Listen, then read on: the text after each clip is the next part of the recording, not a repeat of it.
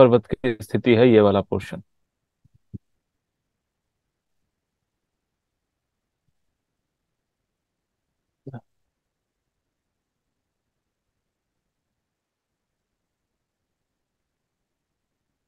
ठीक है।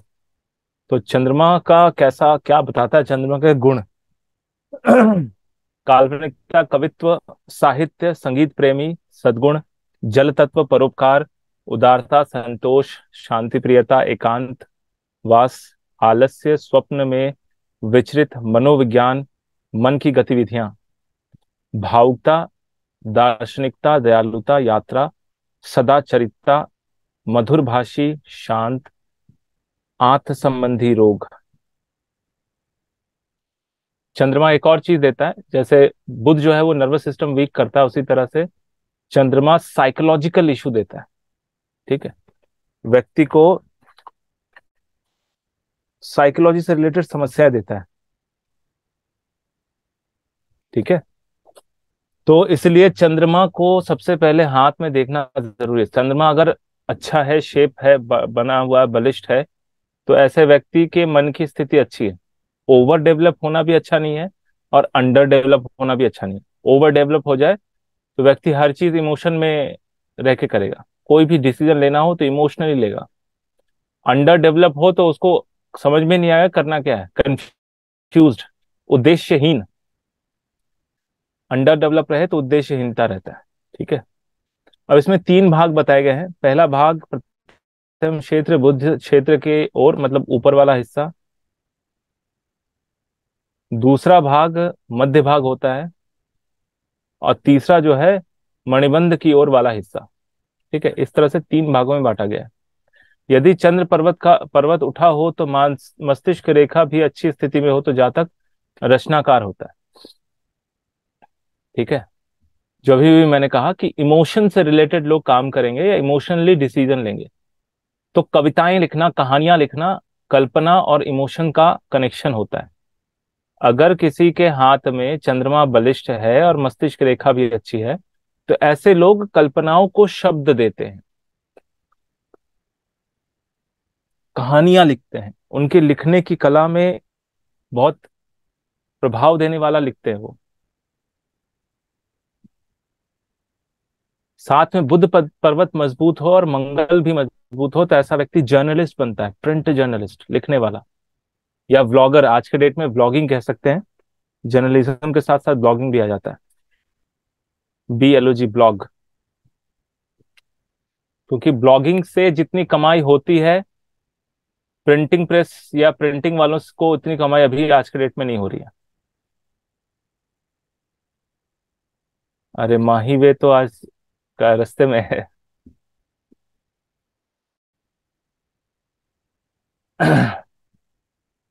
ठीक है। यदि चंद्रमा पर्वत उठा हो और हाथ में अन्य अशुभ लक्षण हो तो जातक उन्माद और मनोरोग का रोगी होगा। अब ये समझना थोड़ा सा इसमें ये तीन भागों में बांटा गया। तीन भागों के बारे में बहुत विस्तार नहीं दिया मैं थोड़ा सा ये तीन भागों में बांटने का कारण बता देता सर पेज नंबर बता देंगे। मैंने लेट ज्वाइन किया पेज नंबर नाइन्टी नब्बे। Ninety and ninety one. Blogger में क्या क्या बताया आपने? क्या क्या उठा होना चाहिए? ब्लॉगिंग में चंद्र पर्वत मस्तिष्क रेखा माइंड लाइन और बुद्ध का पर्वत।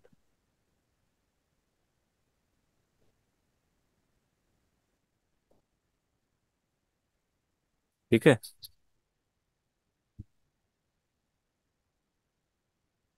तो आ, कहा था मैं? ओ तीन भागों में बताना था तीन तीनों भाग को बताना था। तो पहला जो है, ये बुध के नज़दीक है और मंगल के नज़दीक होने के कारण ये वाला दिखाता है व्यक्ति का कॉमन सेंस ऐसा आप एक हाथ ड्रॉ कर लीजिए और चंद्र पर्वत को ऐसे कवर करके उसमें निशान लगाइए, उसमें टिक दीजिए कॉमन सेंस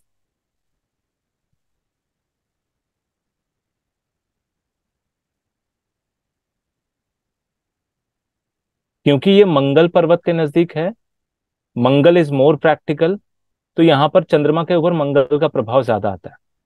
इसलिए कॉमन सेंस ऐसे व्यक्ति के अंदर विचार क्षमता, यानी ट्रोमैटिक सिचुएशन में इमरजेंसी वाले सिचुएशन में ऐसा व्यक्ति क्या कर सकता है, वो यहाँ से पता चलेगा, चीज़ों को हैंडल कर सकता है कि नहीं।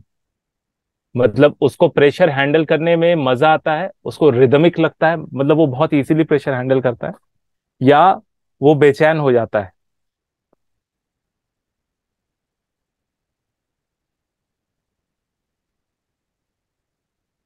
दूसरा जो भाग है, ये यात्राओं को दिखाता है। विदेश यात्रा, छोटी यात्रा, लंबी यात्रा, समुद्र यात्रा।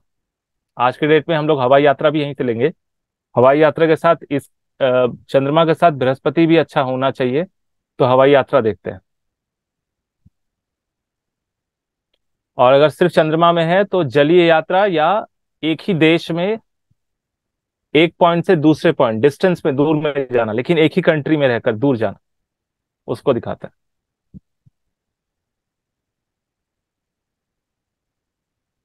और अंतिम नीचे वाला जो हिस्सा होता है, ये वो वाला पोर्शन है, जिसको कहा जाता है हाईली इमोशन यानी यहाँ पर व्यक्ति की बुद्धि काम नहीं करती।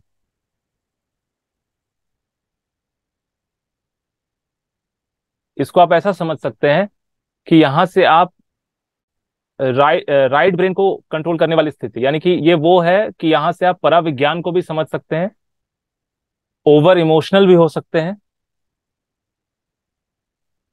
ठीक है?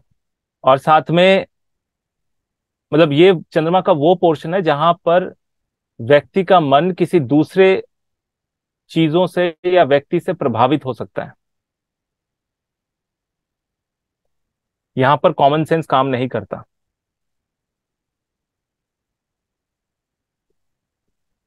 चंद्रमा को इसलिए इन तीन भागों में बांटा गया, ये जो भी मैं बता रहा हूँ, ये बहुत प्रैक्टिकल अप्रोच है। ये इस किताब में इसका कोई विश्लेषण किया हुआ नहीं है। ठीक है? बहुत प्रैक्टिकल है। मतलब हाथ देखकर जो एक्सपीरियंस समझ में आया, वह, वो है।